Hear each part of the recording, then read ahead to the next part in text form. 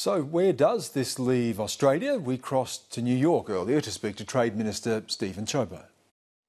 Minister, thank you so much for giving us your time. Now, you've been hopeful of reviving or being able to rescue the Trans Pacific Partnership, but what's the reality now? Do you accept that it's finished? Well, no. What uh, the conversations that I've been having been about a reformulated TPP, uh, what we could call a TPP 12 minus 1. In other words, the opportunity to capture the gains that we've been able to secure under the agreement of the Trans Pacific Partnership, but less the United States. There's still an appetite from a number of countries, including Canada, Mexico, uh, New Zealand, Singapore, and others, to look at what we could be able to come up with that would still capture those important gains around trade facilitation and uh, the efficiencies uh, for small business, etc., uh, but do it within that TPP framework. Well, let's look at the appetite for those to stay in. Take Japan, for example. It's the biggest economy now left in the Trans-Pacific Partnership. Shinzo Abe has said that without the United States, that the deal has no value. Malaysia and Vietnam, other countries that have said that they would look at getting out as well. How can you be sure that it would be able to survive? Well, I think things have moved on. Um, the fact is that I've had conversations over this past week with trade ministers from, as I indicated, Canada, Mexico. Stan, it comes down to this. I mean, from Australia's perspective, we already have a free trade agreement with the United States. Under the TPP, we'd be able to have access to markets that we don't have a trade agreement with, including, for example, Canada and Mexico. So, of course, it's very much in Australia's interests to be able to capitalise on the gains that we've made. Never forget, this is about benefiting small and medium sized businesses. I mean, the big guys can always hire in the expertise. They can hire in the lawyers, they can hire in the people they need to facilitate trade. But those Aussie businesses, those small to medium enterprises, they're the ones that benefit from having one set of rules that apply across 11 or 12 countries, uh, and they're the ones who stand to gain the most. But, Minister, the Trans Pacific Partnership was not just a trade deal, was it? There was a geopolitical element to this. Part of it was being able to contain China, to be able to reassert America's role in the Asia Pacific. What message does this now send to the region under a Trump presidency, the role that America will continue to play? Well, Sen, I think you're sort of inviting me to provide commentary on um, what the decisions and implications of the United States will mean with respect to China and Asia more generally. And um, I, of course, am, am, not going to do that.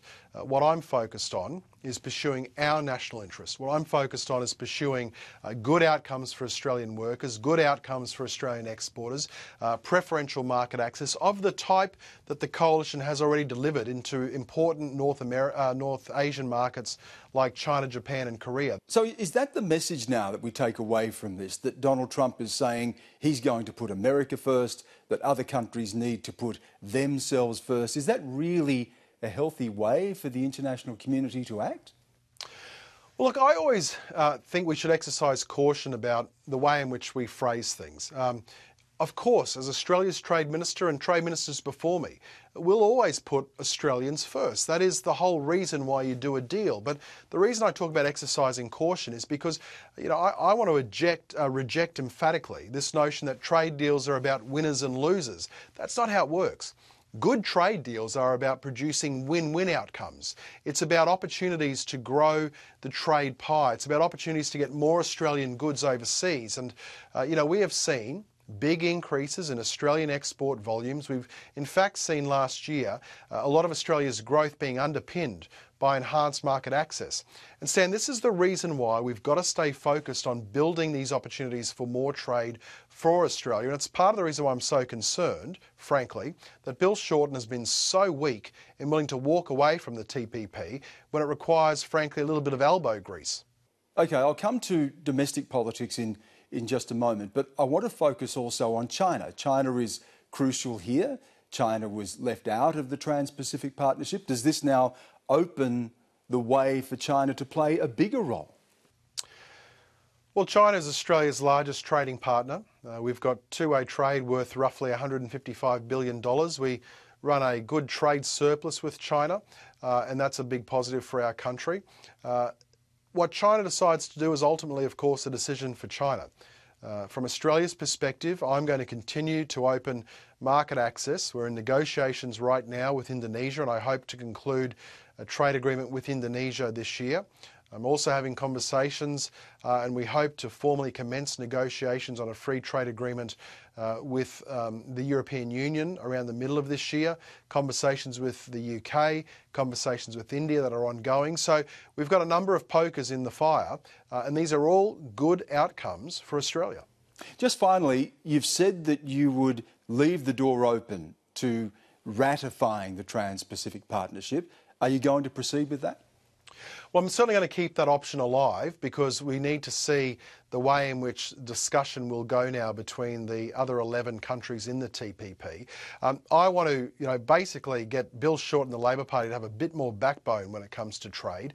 Um, we've seen in the past Bill Shorten and the Labor Party go to water uh, at the request of their puppet masters, the trade union movement, on the China-Australia Free Trade Agreement. Now, never forget, Stan, that that China-Australia Free Trade Agreement has seen record volumes of exports from Australia, and we potentially would have lost it if Labor had not had lost their nerve.